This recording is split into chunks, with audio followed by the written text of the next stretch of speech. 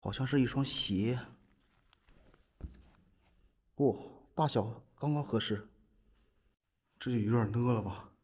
这家伙打扰了啊！这谁写了个黑粉专用？我去，多大仇啊！继续探秘东北黑龙江废弃的人生终点站，这里是每个人一生必来的地方。这也是最后一集了，看看在这一集里还能发现些什么。好像不知不觉又走到这个业务大厅了。这大厅里边还放着两台电脑，都是国产的。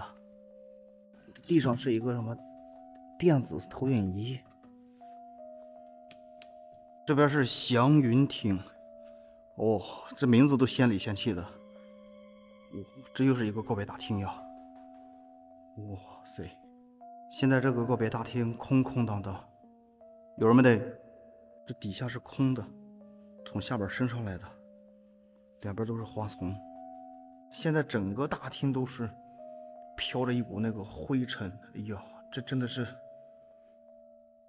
感觉鼻子很不是滋味啊！我一会儿出去得戴个口罩去。看这画，仙气飘飘的感觉。这边这个大壁纸怎么感觉像是有亮光呢？应该是外边的光透进来的吧。在这个墙上看到了这么大的一个价格收费表。咱们刚才看的这种告白大厅是一百的，还有五百的。接老前辈的车是战旗越野两百一小时。依维柯，依维柯还贵呢，三百一小时。我还有奔驰红旗加长版，高档依维柯。哎呀妈呀，不便不便宜啊！价格表上这些接老前辈的这些中高端的车，咱们上一集视频里边出现过，感兴趣的可以自行去看。闹不清这里是做啥的，写着此门不通。哇，看这地上，通用银行。个十百千万十万百万千万亿，哇，二十亿呀！这么能吗？看看这里边是做啥的啊？你好，有人没得？哇，这边的墙皮都掉了！哎呀，我去！一股冷风吹过来，我都打寒战了。这里边有一个小桌子，这门上都写着房间号，还有什么清逸阁。这里好像是休息室哦，这边是什么女厕？哎呦我去，女厕所！我去，在里边还有双鞋呢，怎么？有人没得？哎呀妈呀！哇，这个楼闹不清是做啥的，挺宏伟啊！这路好像都已经快被杂草给盖住了。哎呦我去！你好，有人吗？哇，这里应该是那个骨灰。寄存室啊！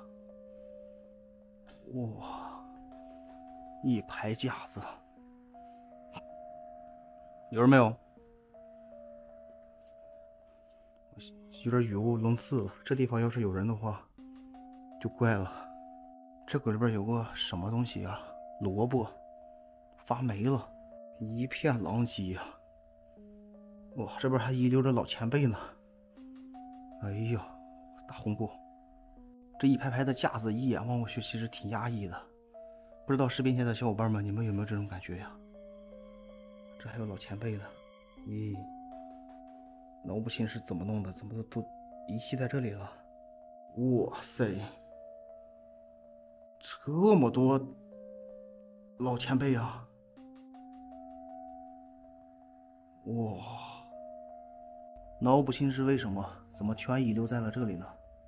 来，老前辈接过啊。不知道为什么这里都废弃了，但是依然遗留了这么多的大盒子，盒子里边个个都是有老前辈的。其实看完之后，心里边挺不得劲的。这上边只写了一个食材是什么意思？这是唯一的信息，食材。还有一个编号，二零七的编号。哎，咱也不是特别懂这个东西，我猜测应该是无名氏吧，或者说是家属失联了的，应该才会遗留在这里。但凡有个亲人家属的，应该也不至于留在这里吧。反正怎么说呀，过了三代以后，有几个还能被记住的？闹不清上边是做啥的。有人没得？这还搞个军大衣，我去！这家伙，这楼上的架子好像都被拆了哦！哎呀妈呀！这桌子上还有一个狮子。这里是季存员办公室，能看到的是里边有一张床，床上还放着一个老前辈呢，不知道被谁给打开了。很局促的一个房间，这里是登记员住的地方，地上也有三个老前辈。上面也有哇，就这桌子上还有一个电话呢。说实话，登记员的胆子是真大。这个地方，我站在这里的时候，我连喘气都快喘不上来了。但是登记员却可以在这里住晚上，住在这里，佩服。